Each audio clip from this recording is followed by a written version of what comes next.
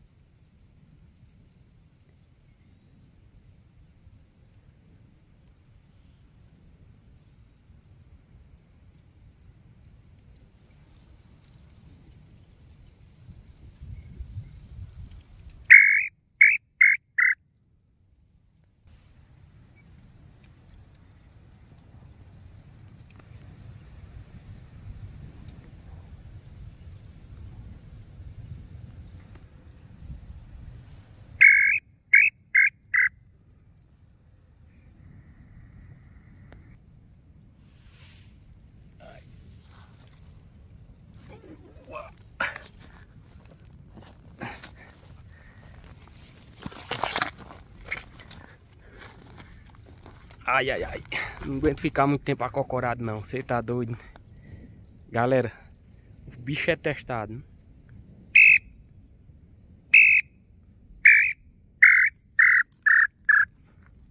Pode comprar sem medo que dá tudo certo. Garganta de lambu. Manda frete grátis ainda. Galera, você que chegou até no final do vídeo e viu, é o seguinte. Oh, que beleza. Você tá doido, menino. Um dos erros principais de quem vai piar lambu é você piar em sequência, piar em sequência, piar em sequência sempre. É justamente nesse vídeo eu tava fazendo para testar o pio.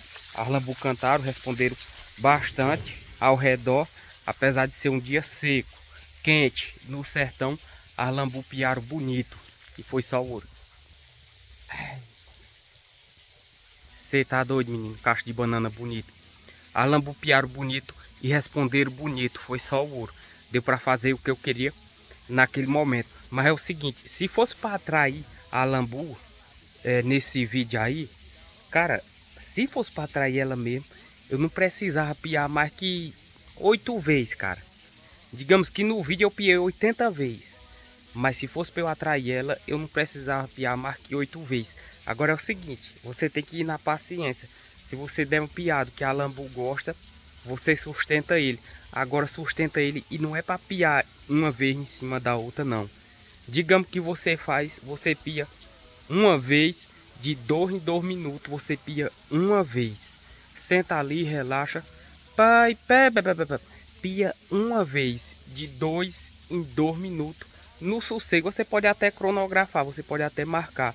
Pia uma vez, de dois em dois, três em três minutos. Bem relaxado, bem sossegado. Você só vai piar umas oito vezes. E a lambu no território dela, estando ali, ela vai aparecer na hora. Pode seguir essa dica. Se você piar um monte de vez, ao invés, você pode estar tá pensando que você pode estar tá chamando ela, mas você está esfriando ela e baixando o fogo de todas as lambu que estão ali naquele território. Entendeu?